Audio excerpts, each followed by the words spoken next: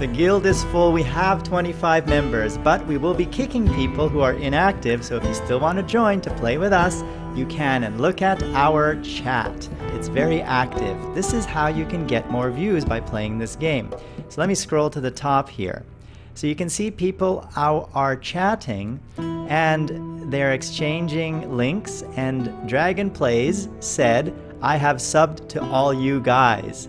So that means if you join this guild and play with us, you may get more views because we will all subscribe to each other and help each other grow together like a family.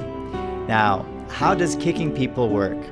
So, if you are not active in the guild, then I will kick you if there's more people who want to join the guild.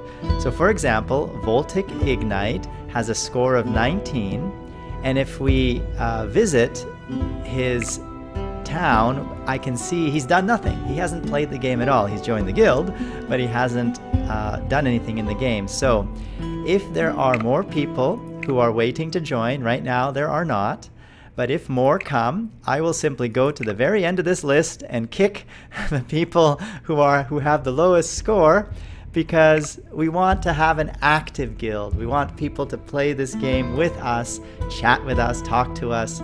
So I hope you understand because there's only 25 slots, that's the limitation of this game, then I'll have to kick the people who are the most inactive to make room.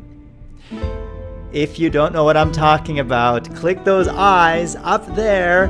That will take you to videos talking about this game, why we're playing it, and that we want to make a game together as a family. You become the game designers, we build it, and we all play together. That's the goal, because that is the spirit of uh, freedom. We all help each other grow together as a family. And who am I? I am George, CEO and founder of Freedom. And you've been watching